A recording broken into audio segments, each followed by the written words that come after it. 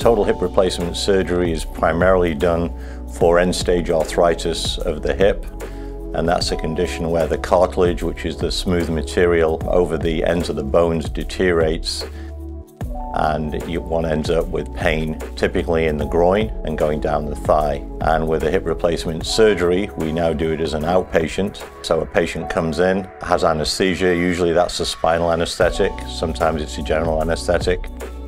Then I go ahead surgically and replace the ball of the hip with either a chrome cobalt or a ceramic head with a stem that goes down into the thigh bone or the femur bone.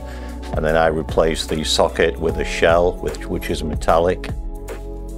This is a procedure that typically takes about one and a half to two hours. We do it in the outpatient surgery setting. Patient is then discharged home. We have home health nurses come in to the patient's home to help them with mobilization and then home physical therapy to enable them to walk. Most people are full weight bearing right after the operation, initially using a walker for a few days and then a cane.